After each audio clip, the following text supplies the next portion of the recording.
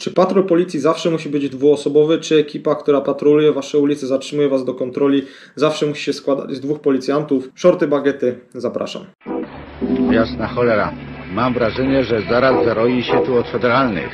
Siemano mordeczki, sierżant Bagieta z tej strony i tutaj odpowiedź jest bardzo prosta, ponieważ zawsze musi się składać z dwóch osób, bo jeden hehe czyta, drugi hehe pisze. Dobra, takie żarty z brodą sobie jednak zostawmy na bok. Nie, patrol może być jednoosobowy, natomiast muszą być spełnione pewne warunki. Po pierwsze musi być to policjant w służbie stałej, czyli w praktyce najczęściej po trzech latach swojej służby. Sprawa druga, służba musi się odbywać w porze od świtu do zmierzchu. Sprawa trzecia, w takim patrolu policjant musi mieć zagwarantowane jakby natychmiastowe wsparcie, jeżeli by tego wsparcia potrzebował. W praktyce właśnie dlatego, że tego wsparcia najczęściej nie można zagwarantować tak łatwo, to patrole są dwuosobowe, chociaż znam z mojego własnego podwórka mm, pewnego nawet influencera policyjnego bym powiedział, bo już taki, taki termin się gdzieś tam ukuł, influencer policyjny, chociaż mi to obrzydliwie.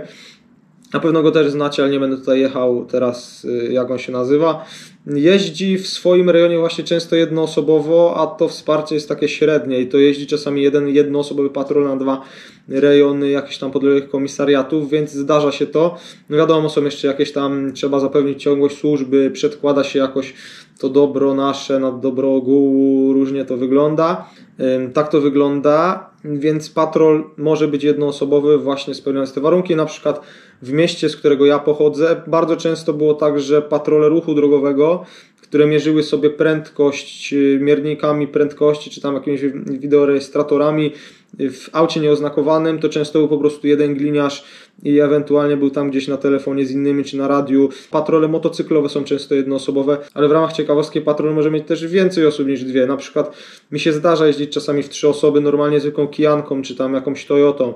Nie wiadomo, że są patrole OPP, gdzie tych osób jest nawet 8 czy 7, ale no najczęściej patrol jest dwuosobowy, potem dosyć często trzyosobowy w moim przypadku, ale dosłownie na palcach jednej ręki jestem w stanie policzyć sytuację, gdzie miałem jednoosobowy patrol na przestrzeni no, 6 ponad lat służby. Jeżeli macie jeszcze jakieś pytania co do sposobu pełnienia służby, to zostawiajcie w komentarzach. Może Wy się spotkaliście właśnie z takimi patrolami.